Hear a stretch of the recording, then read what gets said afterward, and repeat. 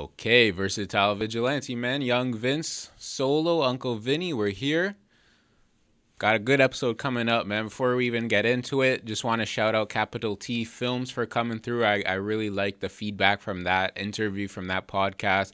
Great guy, and anyone who enjoyed that, shout out to you. I think that was a great one, talking a lot about Casper and, and filming in the city and just networking, being a young creative. So, great episode. I loved that interview. Shout out Capital T Films. Go check out, you know, whatever he he puts out. Go check out his YouTube, Instagram, all that.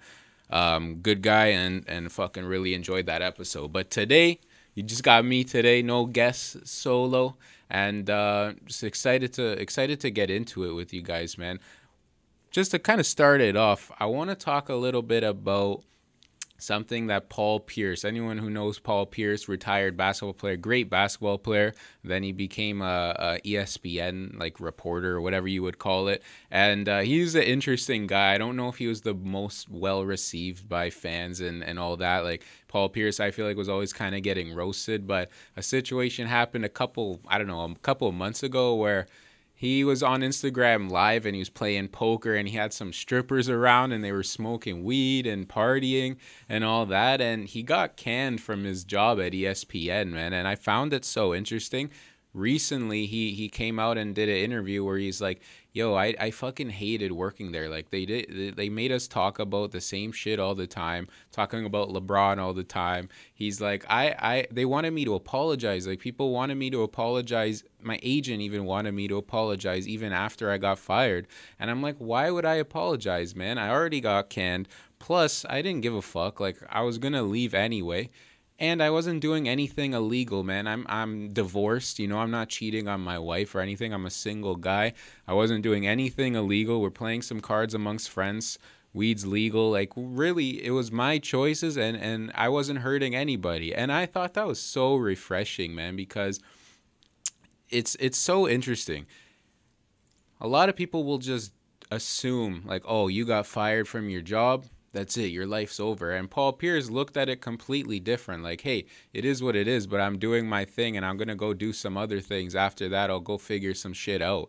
And it just got me thinking about life in general man. It's so interesting how different people could have completely different perspectives on things. And really all you have is your perspective because a situation is what it is. We talk about paul pierce's situation some people might look at it like, oh my God, this guy dropped the ball. He had millions of dollars in salary, probably, and he had a cushy job and this and that corporate job. His life is ruined. And Paul Pierce looked at it completely different. Like, I didn't even really enjoy being there in the first place, and I'm a grown man and I made my own decisions, and fuck that. I, I, I you know, that's how I feel about it. And that's so interesting, man, because any situation can be viewed differently by different people. I'm going to use a personal example, man.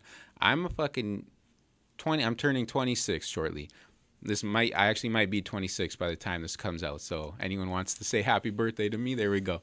But um I'll I'll give you like some personal shit. I'm 26. I still live with my parents. I have no girlfriend. I have no property of my own like you know, I'm building this podcast, still not getting the most amount of viewers and this and that. Some people might look at it from this perspective. You're a fucking loser who still lives at home with no bitches and getting no play and all this stuff. And I could look at it completely different. I could say, man, I'm living at home saving money, got some good money stashed away. I got no commitment. I could do whatever I really want to do. I don't have to worry about anyone's feelings. And the situation is completely the same. I'm viewing it completely different than someone else, but the situation is completely the same. I find that so interesting, man. And it just goes to show, in my beliefs, that very little is black or white. Very little in this world can just be described as black or black and white, right or wrong. Very, very, very difficult to do that. There's a lot of gray area and there's a lot of different perspective, man we got an election upcoming. I'm not going to go into it, but long story short, I am not a Justin Trudeau supporter at all. I'm not a fan of his at all. You could probably get that from meeting me, that you could tell him he's not my cup of tea. But some people view him as the greatest. Some people love this guy, and what he's done is the same. He's put on brown face and he's done all this different types of shit. But some people don't view it a certain way and some people do. And who's to argue, man? Your perspective is yours. You view it one way, someone else views it completely different. I don't know if there's a right or wrong. I have my beliefs, I have my opinions, I have my principles. They might not jive with someone else's. Someone else might believe completely different from me. And who am I to really, you know, who am I to really fight with them over that? Or who am I to make a problem out of that? They believe differently than I do. And I just think that's interesting, man. I think understanding that where some people will not see it the way you see it. You cannot force someone to see a situation the way you do if they don't feel it in their heart.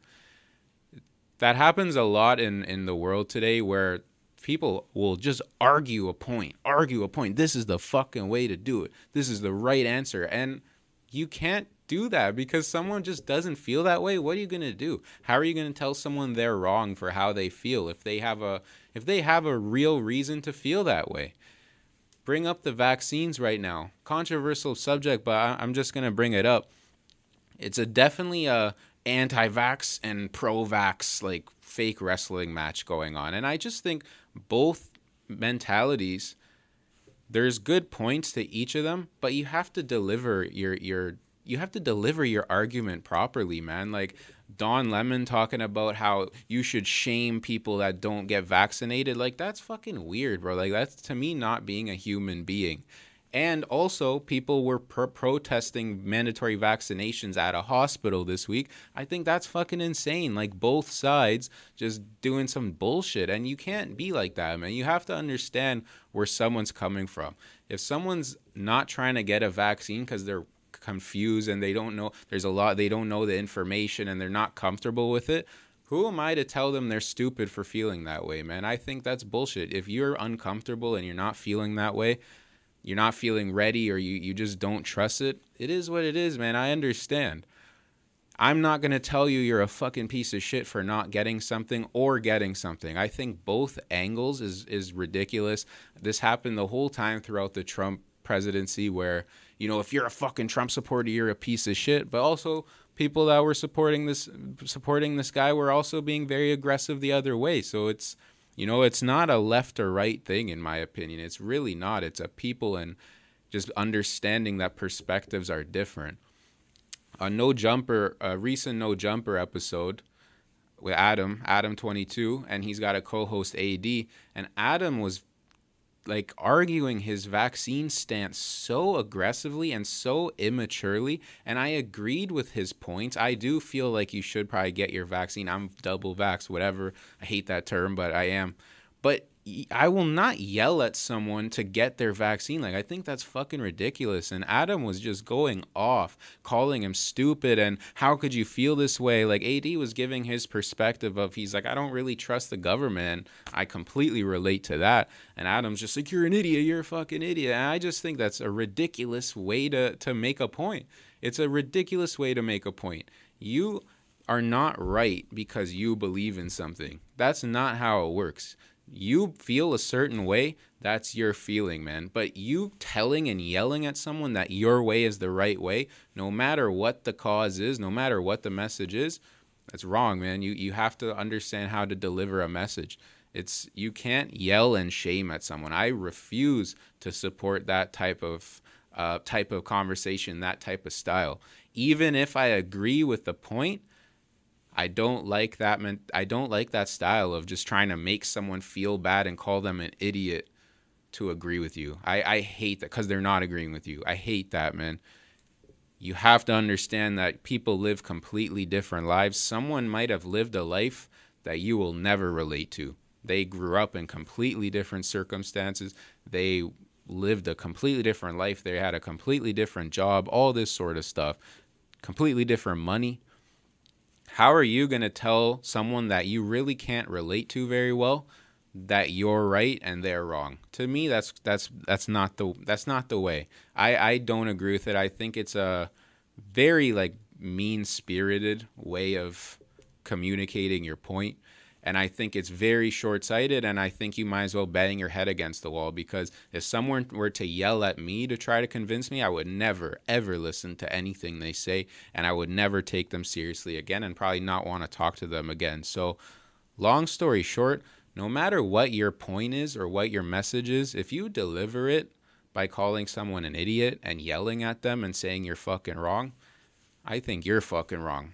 I think that's the wrong way to go about it and I don't respect that style at all and I think that's a dirty a dirty game and I hope I hope that people can see past that at some point and, and understand that hey, just because they don't agree with me does not mean that they're wrong or a bad person. So that's how I feel about that, man. It's very much I think I think perspective is a huge thing in life. I feel like the old cliche you looking at it glass half full or glass half empty, man. If you look at a situation and say it's shit, it's going to be shit. It is what it is. You're going to give up on it and you're not going to be able to max that shit out. You're not going to be able to make something. You're not going to be able to make lemons out of lemonade. You can take the exact same situation, you look at it from a more positive positive perspective. You say, let's see what we can do here. Who knows what happens here? You're putting yourself in a better chance to succeed. It's hard enough being positive. Life th- throws shit at you no matter what, whether you're positive or negative. But when you're being negative, it just makes it that much harder on you, man. You got that weight on your shoulder. That bullshit's going to cloud you and it's going to make things even harder. The positive mentality, looking at the glass half full, I don't think it hurts you in any way, man. I think it'll help you and take you places that you don't you didn't even think you could go, but you trust yourself, you keep a positive outlook. I think you're going to be rewarded for it more times than not. Whatever, man. I don't I don't mean to sound like some preacher or some fucking priest or anything like that. It's just the way I feel. I think that this mentality of it's bullshit that is going to bring you bullshit and honestly you deserve bullshit if that's how you feel. If you think everything's shit and this guy's a fucking loser and this guy's an idiot i don't see good things coming your way man because you're not going to put that work in. You're just giving up. You know if you're folding you fold man. You fold that hand. I've talked about this in many episodes before. So only one thing can happen when you say fuck it and and this is shit. Only one thing a bad thing. That's the only thing that can happen. Something bullshit happens or nothing happens. When you say, fuck it, let's keep going, as opposed to fuck it, I'm quitting, who knows what could happen, man? You can stumble upon something crazy. And I just think it, it goes into like creating your own luck and trusting yourself and understanding no situation is ever going to be perfect. I really don't think that exists. You can't wait for a perfect situation. You got to go make the most out of the situation and turn it into something good, man. It's like an analogy I could use. Anyone could coach a group with the most talented basketball players and win some games, but it takes a lot to coach some guys with not much talent and turn it into something. That's a real challenge, in my opinion. So, I don't know, bro. I'm team glass half full always. Doesn't mean I don't get bummy. Doesn't mean I don't get down. Doesn't mean I'm a not a fucking negative fuck.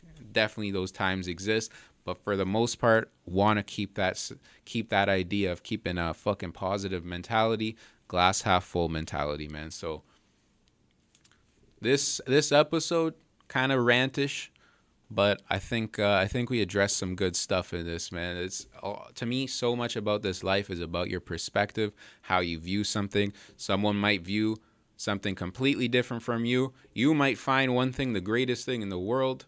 You might find chocolate ice cream to taste amazing, and this person might feel like it tastes like shit. You yelling at them to say it's a fucking amazing, and they yelling at you to say it's shit, you're both wrong, man. No matter what it is, you got to understand that some people are going to be different from you, feel differently. They might look at you even crazy. They might never understand you. That's okay, man. As long as you're not being an asshole towards them either way, I think you're good. Because if you're an asshole, you're not proving your point. You're just being an asshole. So that's how I feel. R.I.P. Norm Macdonald, legend, comedic legend. Um, you know, anyone who's not familiar with him, definitely go check out his work on YouTube. Gone, never forgotten.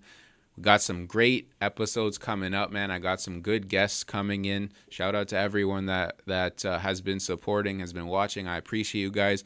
Go like, go subscribe, all that corny shit. Go do that.